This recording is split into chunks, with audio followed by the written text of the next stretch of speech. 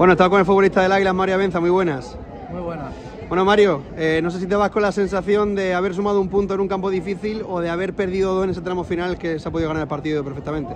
Sí, hombre, nos vamos con la sensación de que como en la segunda, segunda parte, el tramo final, hemos podido hacer eh, algún gol, alguna ocasión clara y habernos traído los tres puntos, pues te vas con la sensación esa agridulce de que podía, podía haber ganado hoy. Pero bueno, el punto no es malo porque es un campo complicado y se ha competido muy bien, hemos mantenido la portería a cero.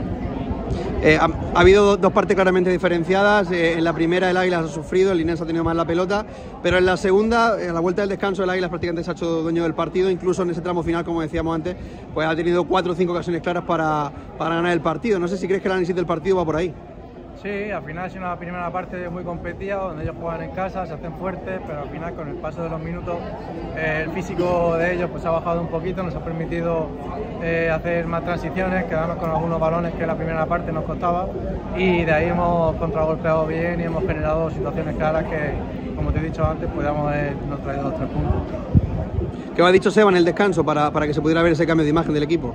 Bueno, que intentáramos cambiar un poquito, intentar tener más la pelota, intentar pues eso, cuidarla un poquito más tras esa segunda jugada, esa caída de balón y a partir de ahí sacar el balón por fuera y, circular. Así que al final eso, eso es lo que nos da un poquito de oxígeno, de control de partido y lo que nos ha generado luego las, ocasiones en la segunda parte.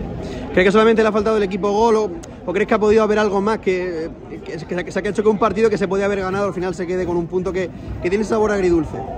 Ha sido un partido competido, hemos competido muy bien, son jugadores donde son ganadores de duelo aéreo y hemos estado bien.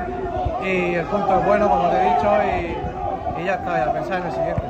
Tú jugaste en la, balona, no sé si para ti ha sido un partido especial, también viendo el campo cómo, cómo está quedando. ¿Qué ha supuesto para ti este partido? Hombre, da gusto conocer, o sea, bueno, eh, la gente que la conoce volver a verla y, bueno, eh, sin más, al final es un partido rival complicado y donde yo ya sé este campo cómo es y, ya está, da alegría ver a la gente que ya conoce y el fútbol al final eso es lo que, lo que te lleva. Un poco más.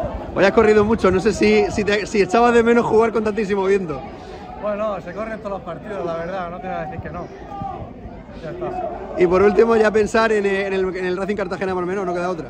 Claro, eh, hacernos fuerte en casa, donde ya llevamos dos partidos consecutivos ganando en casa, intentar ir a por el tercero y hacer bueno este punto. Pues Mario, muchísimas gracias y mucha suerte cara al próximo partido. Gracias a ti.